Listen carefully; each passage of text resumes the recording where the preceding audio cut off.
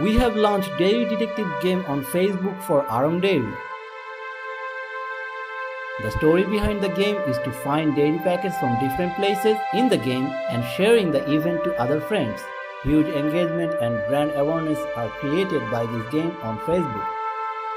Thanks to the development team and Aarong personnel for their contribution.